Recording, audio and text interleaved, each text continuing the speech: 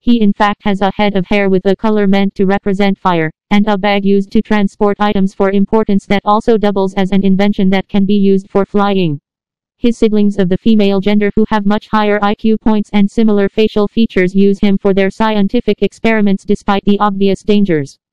He has a father who prefers keeping everything neat and clean, despite the abundance of dirt, mess, and an organization that is left around the specific area and a mother who works rather frequently in order to support the family she and her husband have built together as he keeps everything at home in order.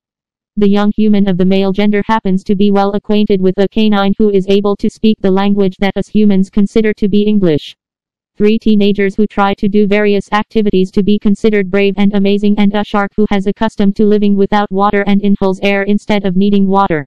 An item of a brand called Mega Action that is used to control certain things in video games. Using boards or shoes with wheels attached to them in order to be used in various areas that are created for or accustomed to those objects.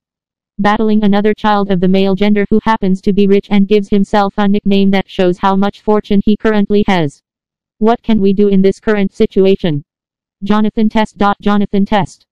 This is an average experience in the life of a young male child named Jonathan Test. What can we do in this current situation? Jonathan Test. Jonathan Test. This is an average experience in the life of a young male child named Jonathan T. Street.